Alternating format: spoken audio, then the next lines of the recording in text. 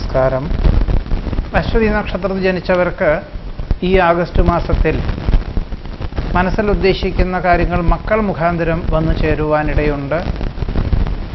കുടുംബാംഗങ്ങളുടെ കാര്യങ്ങൾ വേണ്ട വിധത്തിൽ നിവർത്തിക്കുന്നതോടൊപ്പം ആധ്യാത്മികാത്മീയ പ്രഭാഷണങ്ങൾ അഥവാ വിശേഷപ്പെട്ട ദേവാലയ ദർശനം എന്നിവ നടത്തുവാനിടവരും. വിദ്യാർത്ഥികൾക്കും ഗവേഷകർക്കും ശാസ്ത്രജ്ഞർക്കും അനുകൂലമായ സാഹചര്യങ്ങൾ ഉണ്ടാകുവാനിടയുണ്ട്. തൊഴിൽ മേഖലകളിൽ പ്രതീക്ഷിച്ചതിലുപരി പുരോഗതി മാസത്തിന്റെ പകുതി മുതൽ അനുഭവത്തിൽ വന്നു ചേരും.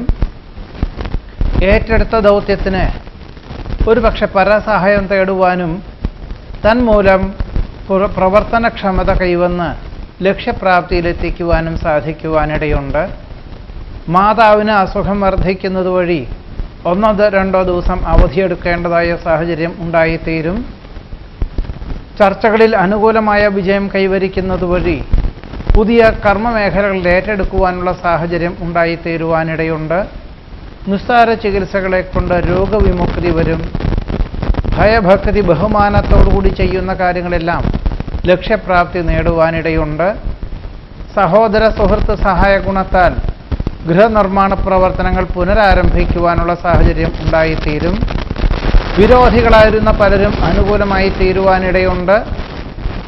അസുഖങ്ങൾ പലതുമുണ്ടോ എന്ന് അനാവശ്യമായിട്ടുള്ള ആധി ഒഴിവാക്കുന്നത് നന്നായിരിക്കും.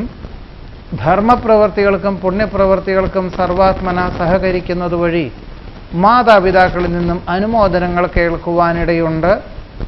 പ്രവർത്തന മണ്ഡലങ്ങളിൽ നിന്നും സാമ്പത്തിക പുരോഗതി കൈവന്നു ചേരുമെങ്കിലും ചെനവിലങ്ങൾ വർദ്ധിക്കുന്നത് വഴി നീക്കിയിരുപ്പ് കുറയുവാനിടയുണ്ട്. വീഴ്ചകൾ ഉണ്ടാവാതെ സൂക്ഷിക്കണം. മക്കളോടൊപ്പം അന്യദേശത്ത് ഓണാഘോഷത്തിൽ പങ്കെടുക്കുവാനുള്ള അവസരം ഈ ആഗസ്റ്റ് മാസത്തിൽ ഉണ്ടാകുവാനും അശ്വതി നക്ഷത്രക്കാർക്ക് യോഗമുണ്ട്. നമസ്കാരം.